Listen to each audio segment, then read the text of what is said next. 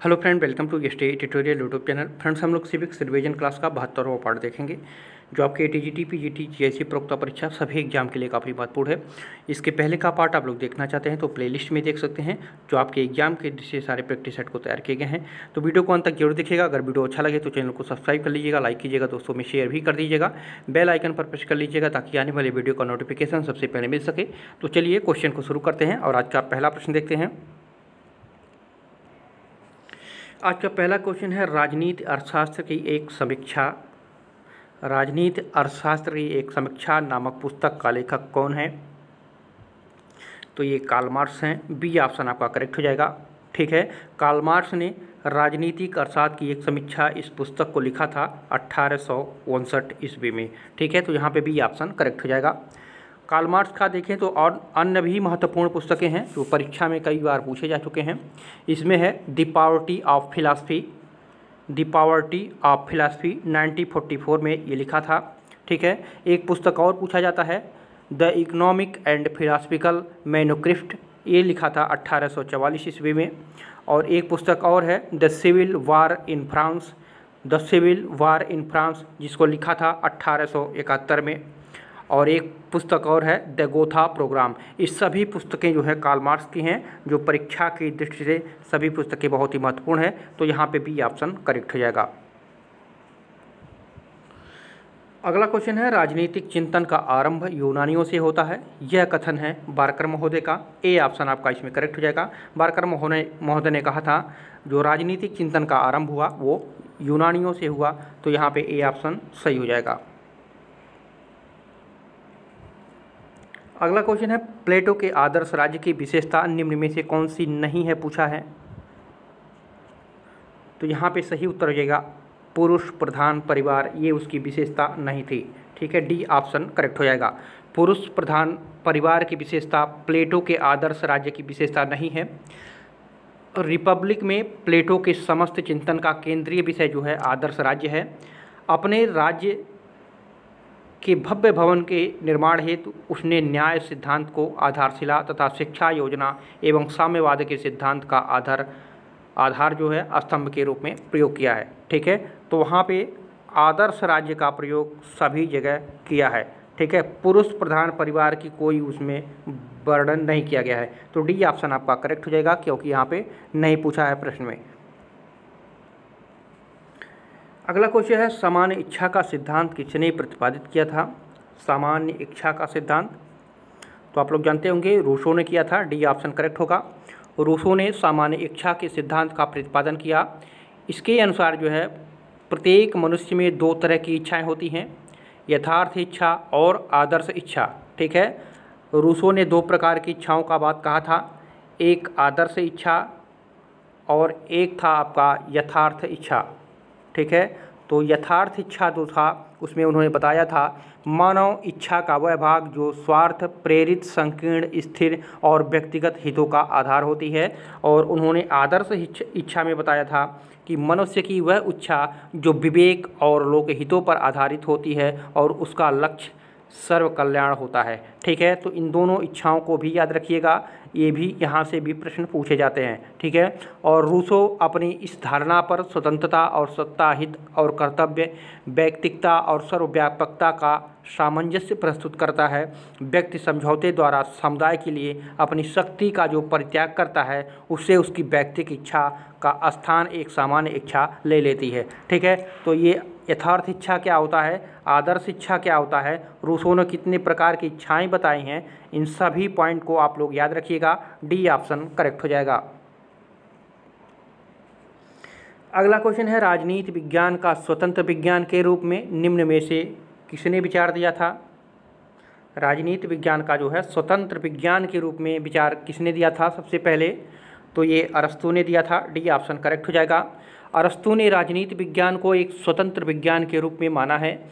राजनीति विज्ञान के स्वतंत्र विज्ञान की गरिमा प्रदान करने करने का जो कार्य है, अरस्तु के द्वारा किया गया है। उसने नीति शास्त्र और राजनीति शास्त्र में अंतर किया। उसने राजनीति शास्त्र को उच्च कोटि का विज्ञान माना है। यह राजनीति विज्ञान का जनक भी माना जाता है और राजनीति विज्ञान को उच्च कोटि का विज्ञान भी माना है। सारे पॉइंट को याद रखिएगा। डी ऑप्शन करेक्ट हो जाएगा। अगला क्वेश्चन है, discourses on art and science. नामक पुस्तक के लेखक कौन हैं? तो इस पुस्तक के लेखक हैं रूसो। ए ऑप्शन करेक्ट हो जाएगा। इस पुस्तक को उन्होंने 1750 ईस्वी में लिखा था।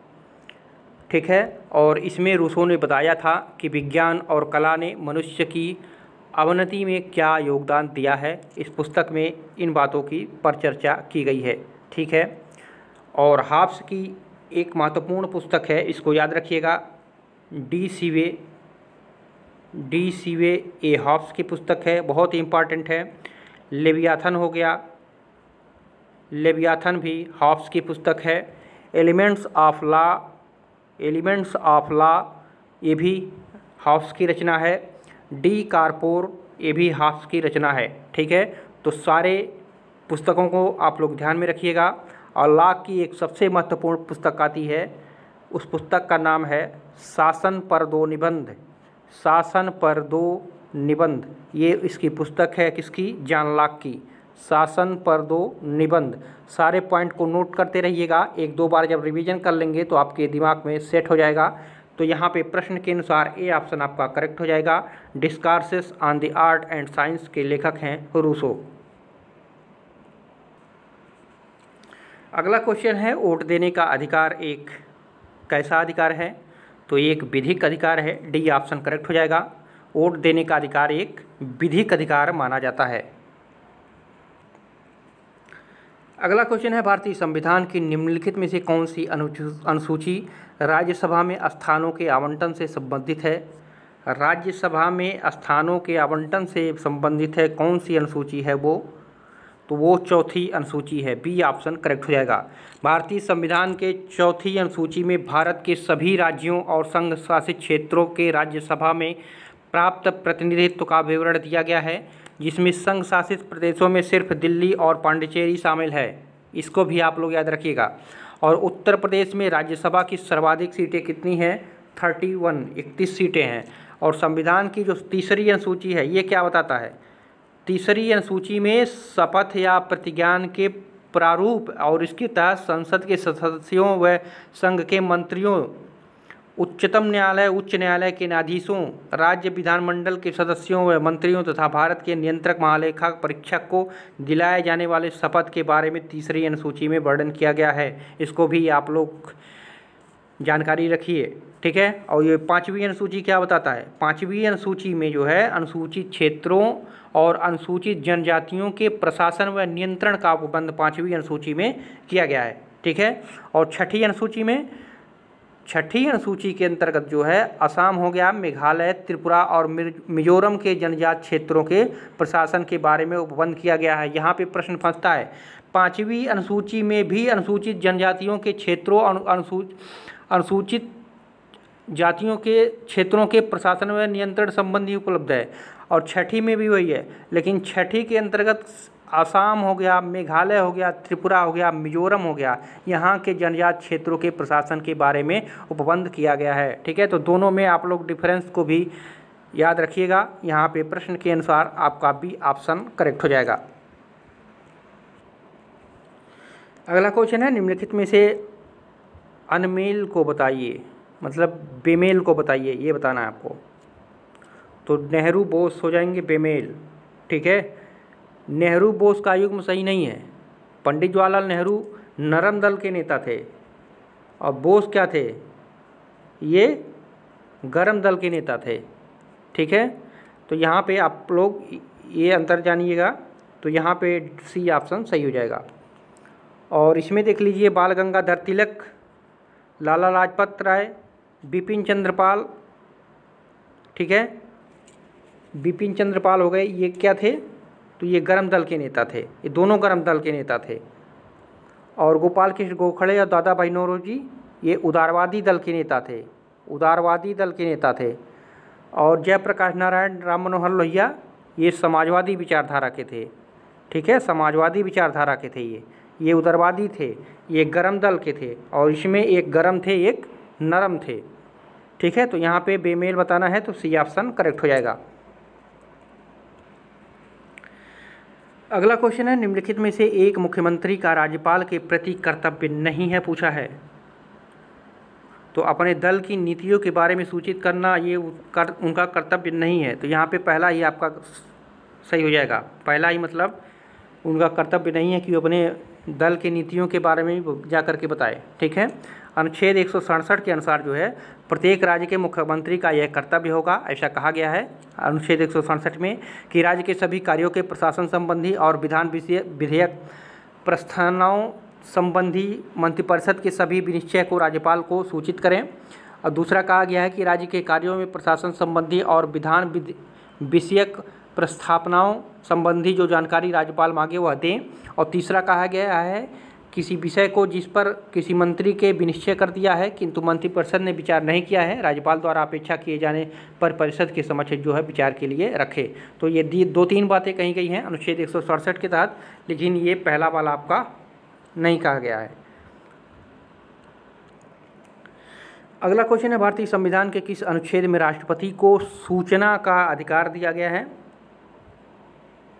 तो ये अनुच्छेद अठहत्तर में है, ठीक है? सी ऑप्शन करेक्ट हो जाएगा। भारतीय संविधान के अनुच्छेद अठहत्तर के अनुसार जो है, प्रधानमंत्री का यह कर्तव्य होगा कि वे देश के प्रशासनिक एवं विधायी मामलों तथा मंत्रिपरिषद के निर्णयों के संबंध में राष्ट्रपति को सूचना दे। यदि राष्ट्रपति इस प्रकार की सूचना प्राप्त करना आवश्यक समझे तो ठीक है? तो यहाँ पे ये कहा गया अनुच्छेद अड़सठ में, ठीक है? अब बावन में क्या क्या गया?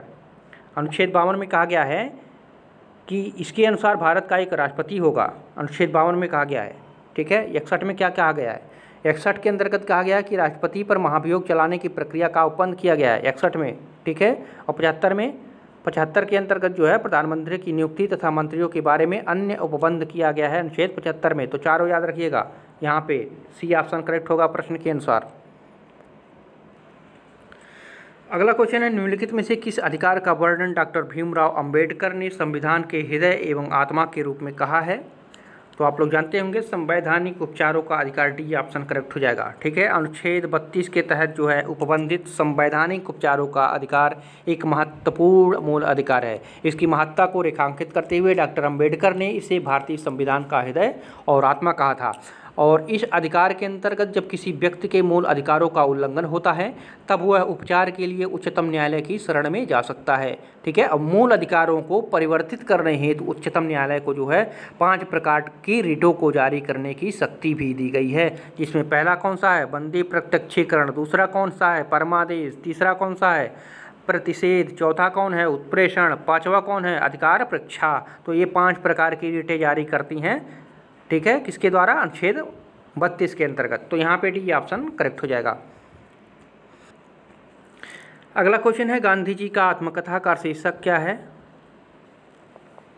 तो सत्य के साथ मेरा प्रयोग डी ऑप्शन करेक्ट हो जाएगा। गांधी जी की आत्मकथा का शीर्षक है, सत्य के साथ मेरा प्रयोग।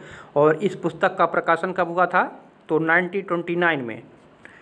ठीक है? और हिंद स्वराज पुस्तक के लेखक भी गांधी जी हैं और इस पुस्तक की मूल रचना गुजराती में है और इसका प्रकाशन हुआ था 1909 में, ठीक है?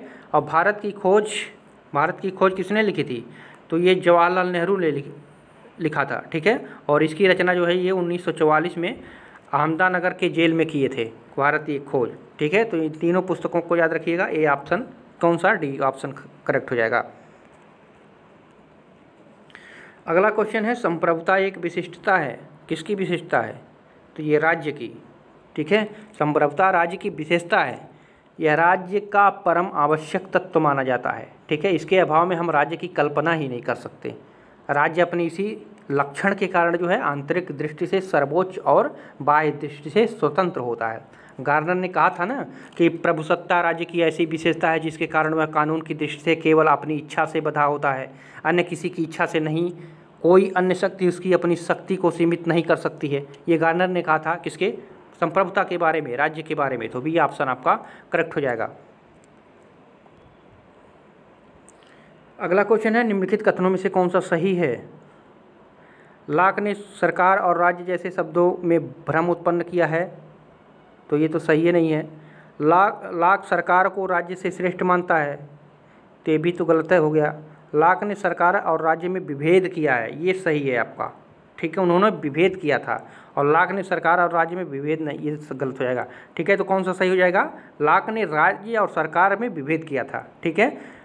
तो यहाँ पे सी ऑप्शन करेक्ट हो जाएगा और उन्होंने राज्य के बारे में और भी विशेषताएँ बताई थी। उन्होंने बताया था, राज्य मनुष्य के लिए है। दूसरा बताया था, सरकार का उद्देश्य मानव कल्याण है। तीसरा बताया था, राज्य का आधार जन, जनसहमति है। चौथा बताया था कि संवैधानिक राज्य की सत्ता राज्य है, जिसमें लोग विधि का शासन स्वीकार करेंगे। तो ये सारे तथ्य इसमें जो है बताए थे और राज्य और सरकार में विभेद भी किया था। ठीक है तो सी ऑप्शन करेक्ट हो जाएगा।